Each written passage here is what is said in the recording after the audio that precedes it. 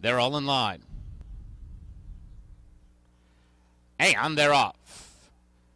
Little Jorge very fast in the gates. Purr Din Alice trying to run with him. Our Sun and Starship Scott is under the whip and trying to get up with the leaders as they go up the back stretch. Southern Hospitality runs along in fifth. Then it's Not for Gold. Dr. Garrett between runners, seven lengths off the lead. Galactic Glide the far side. The trailers are Silver Power and Hardly a Saint is absolutely last as they go into the turn, and he is a dozen lengths back of Little Jorge and jockey Sixto Ribera. Little Jorge around to the quarter pole leads it almost a length and a half. Purr Din Alice runs in the second spot. Starship Scott outside of him. Not for Gold rallying up in fourth. The rest are a long way back. And it's Little Jorge off the turn, and he's the clear leader. Little Jorge opens up to the final furlong. He leads it now three and a half, four. Not for Gold takes up the chase. Then Starship Scott. Dr. Garrett closing in. It's Little Jorge leading the way. Little Jorge from Not for Gold. Little Jorge. Little Jorge beat Not for Gold. Starship Scott was third.